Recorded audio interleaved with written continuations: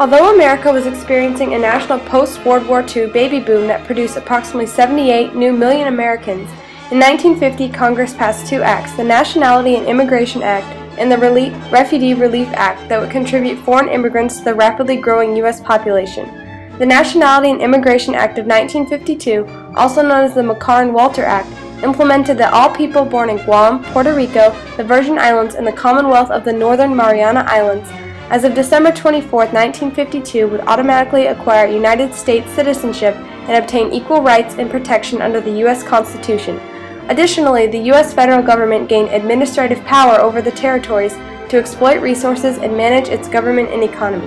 In addition to the Nationality and Immigration Act, the Refugee Relief Act passed Congress in 1953 and admitted entry of over 209,000 refugees from war-torn communist countries, most of them German or Jewish. Because of the massive devastation in Eastern Europe that created millions of homeless refugees, America was obliged to change their policies to admit refugees for the first time outside of the quota system. Under the mandated parole authority, these refugees would be granted temporary residence and could apply for political asylum.